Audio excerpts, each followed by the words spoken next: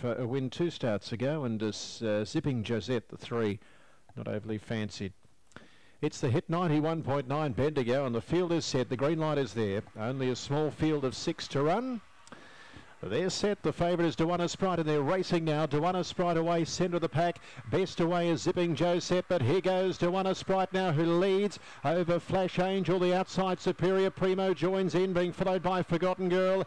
Uh, Don't Tell Papa, and now Zipping Josette has dropped out the back. They turn. It's Duana Sprite in front from Flash Angel. Out wide there is Superior Primo and Forgotten Girl coming on. It's Duana Sprite clinging on and wins. Duana Sprite over Flash Angel. Third, very close between don't Tell Papa and Superior Primo in a very, very exciting finish there. And uh, that's pretty much the story of the race after the uh, 10th on the card.